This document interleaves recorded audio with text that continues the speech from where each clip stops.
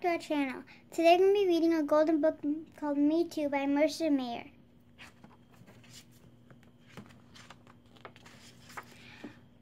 When my little sister saw me riding my skateboard, she said, Me too.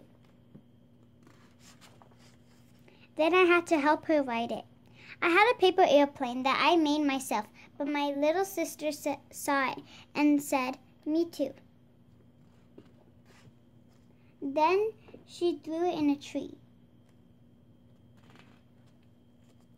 I went hiking with my friends, and my little sister said, Me too. I had to carry her because she got tired. Me too, me too. When my little sister saw us playing football, she said, Me too. Then we had to be too careful.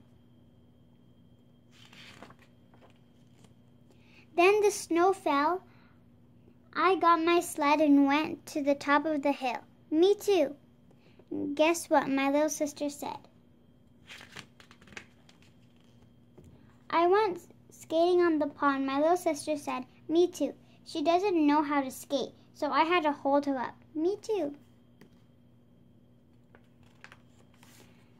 There was one last piece of cake. My little sister said, Me too. I had to cut it in half even though I saw it first.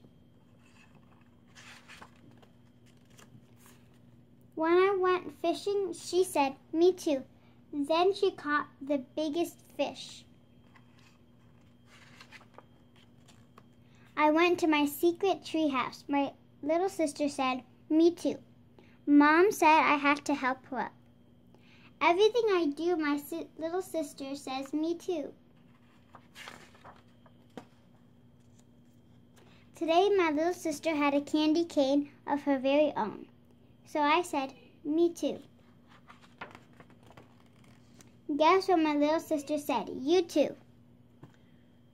Thank you for watching. Hope you guys enjoyed Me Too by Mercer Mayer. And stay tuned for more book reads coming soon. Take care, guys.